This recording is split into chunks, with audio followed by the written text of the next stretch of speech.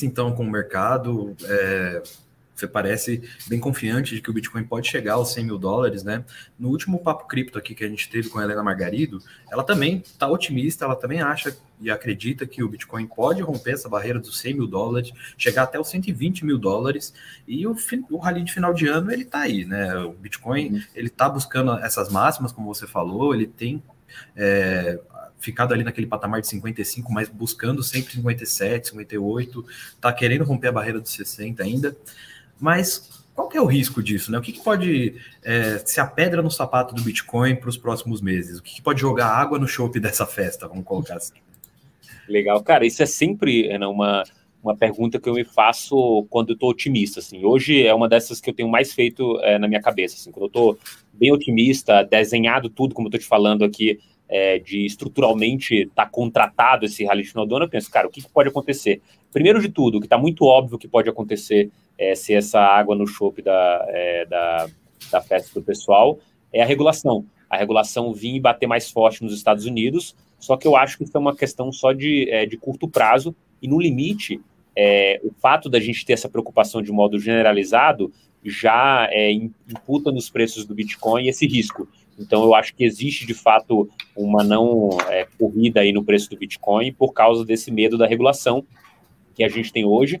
Só que eu não vejo isso sendo algo é, estruturalmente ruim. A regulação é o que vai permitir que a gente saia de um mercado aí de, market cap total aí de 2 trilhões de dólares para atingir 100 trilhões de dólares no futuro, né? Não espere que quem vai bancar esse crescimento aí de 50 vezes seja basicamente o varejo, né? Quem vai bancar esse crescimento é de onde sempre bancou o crescimento de tudo, é o dinheiro institucional, o dinheiro pessoas com bolso profundo, que não são milhões, mas bilhões e no limite até trilhões de dólares que podem é, correr para dentro do Bitcoin, justamente por causa de uma inflação é, desenfreada no mundo, do mundo inteiro, até calote de dívidas, instabilidades.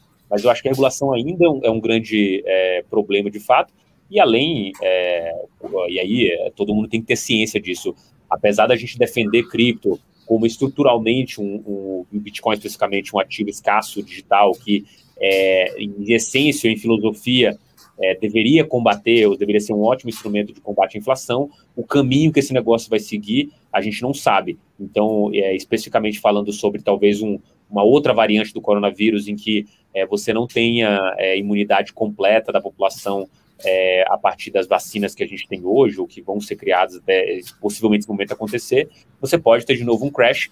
E o Bitcoin é, e os criptoativos são extremamente líquidos, né? Talvez seja a posição mais fácil você se desfazer, inclusive nos finais de semana.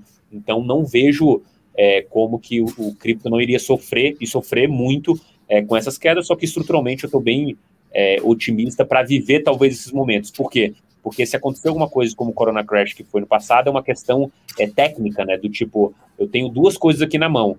Não é que eu quero vender é, essa água aqui, é que é o mais fácil de vender. Porque se eu vender aqui agora, eu consigo dois reais aqui para conseguir bancar o negócio. Ou não, na verdade, ah, eu tenho que vender o celular porque tem mais dinheiro para ser feito aqui e me, me, resguarda melhor. Então, essas coisas elas podem, é, de fato, causar um efeito cascata, como aconteceu no dia é, 12 de, de março do ano passado. Então, são essas duas coisas que eu vejo como a pedra no sapato, mas eu acho que isso o investidor se protege investindo aquilo em cripto. Primeiro, que ele quer segurar por dois a três anos, e segundo, que ele topa ver uma queda momentânea de até 50% nesse negócio e continuar tranquilo, porque não está todo o dinheiro dele lá, e sim uma parte que, se der certo o negócio, ele vai ganhar muito dinheiro, mas se der errado, não vai atrapalhar a vida dele.